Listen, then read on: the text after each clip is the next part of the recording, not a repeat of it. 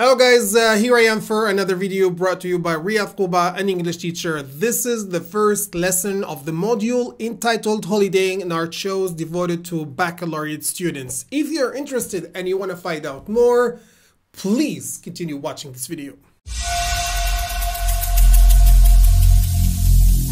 Every single day,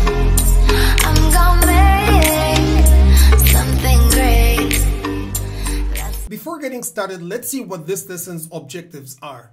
By the end of the lesson, the students will be able to describe their last holiday by watching a video and taking notes and writing a paragraph on that using some useful expressions.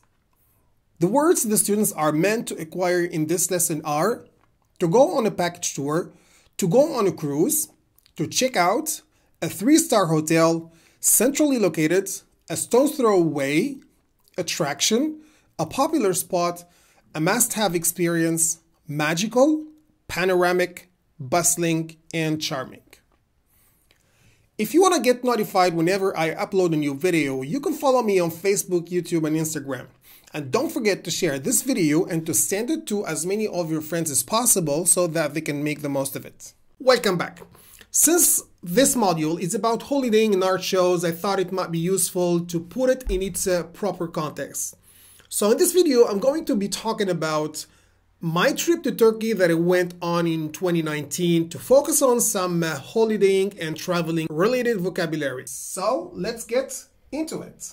Turkey was always on my list of countries to visit. This trip came after years of hard work and sacrifices, so I decided to break out of the routine and get aha moments in my life.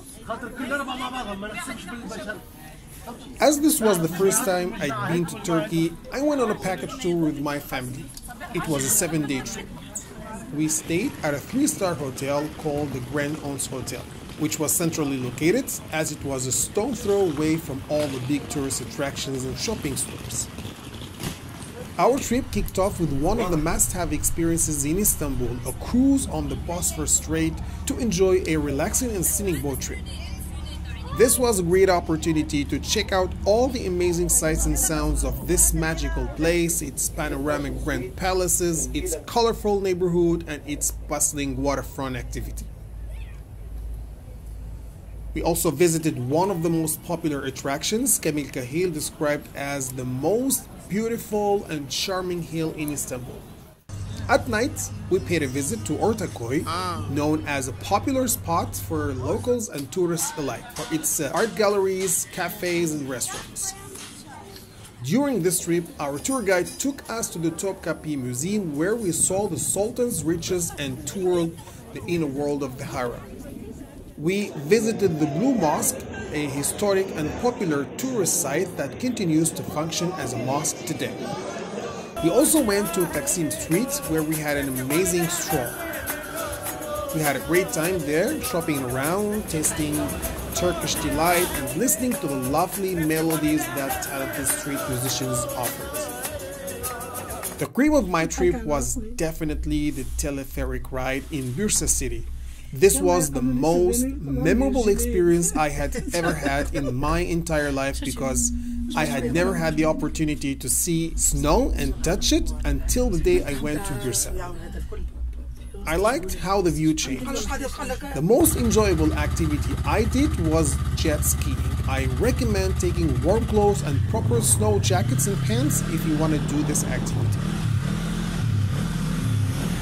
Another part of this trip was devoted to shopping in Turkey's most visited shopping centers. We started off with the, the Forum Istanbul Mall, which is one of Europe's largest shopping centers, and then paid a visit to Olivium Center where we found an extensive range of international clothing brands at low and reasonable prices.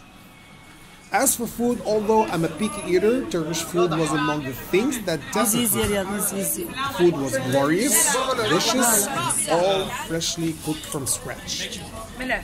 I was going to seize this opportunity of me being there to go on a diet and lose some weight, but I could not resist it because of the incredible variety of uh, mouth-watering dishes in Turkish cuisine.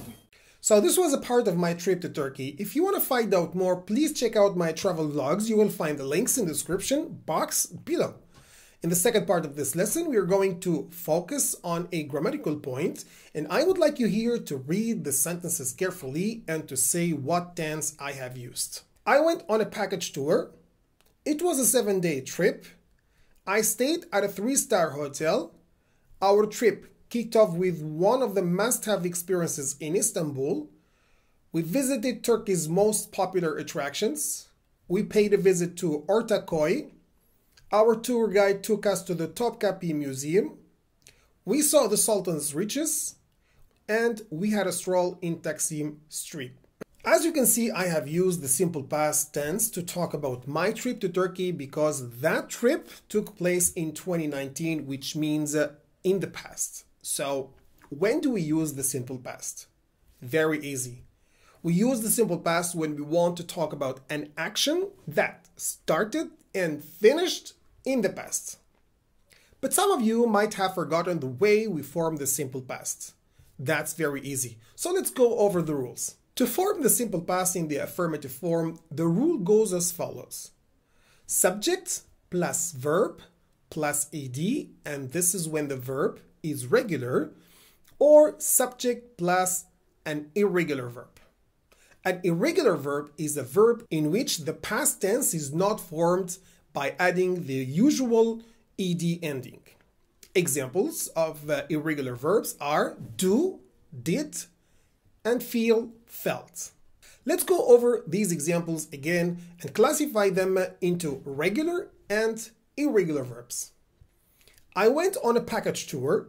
As you can see here, there is no ed. So this is an irregular verb and its infinitive is to go.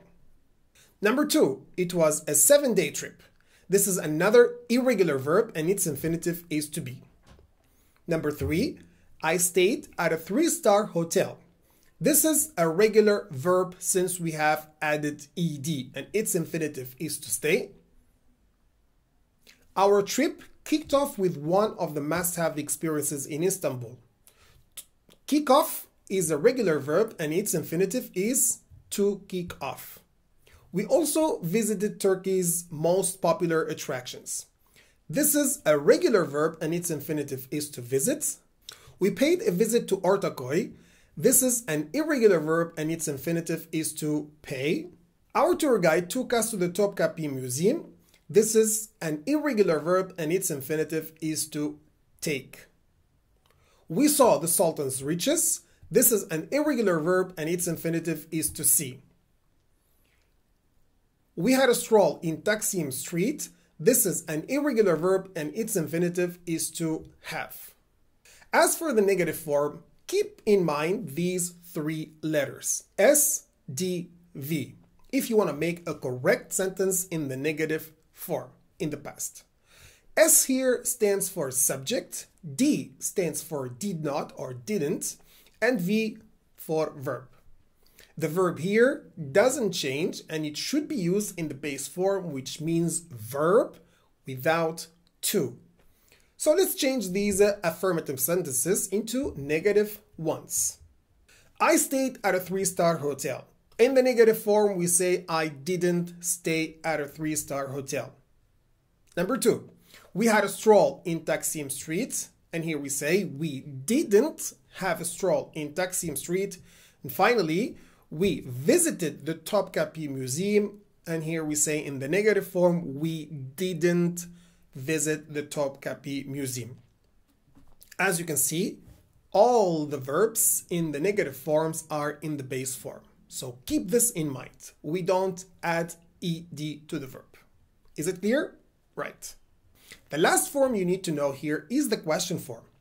To ask a question in the simple past, keep in mind again these three letters D, S, V. D stands for did, S stands for the subject, and V stands for verbs, which must be again in the base form. This means verb without to. So let's apply this rule with these sentences. For the first sentence, we say, Where did you stay? As for the second one, we say, Where did you have a stroll? And finally, what did you visit when you went to Turkey, for example? As you can see, we have here question words plus did plus subject plus base form. Easy, right? Yes. It's as easy as one, two, three. We've come now to the end of the second part of this lesson. Let's move on now to the practice section. We will practice by writing a paragraph answering the following question. Describe a holiday you recently had. You should say where you went, how you got there, what you did there, and explain it if you loved it. Write your answer in the comment section below and I will correct it for you as usual. And remember, you have to use the simple past. Thank you so much for watching this video. I hope you've enjoyed it. If you have, don't forget to give it a big thumbs up and also to make sure to subscribe to our channel so that you can get notified whenever I upload a new video. Thank you so much. Love and peace. Riadh.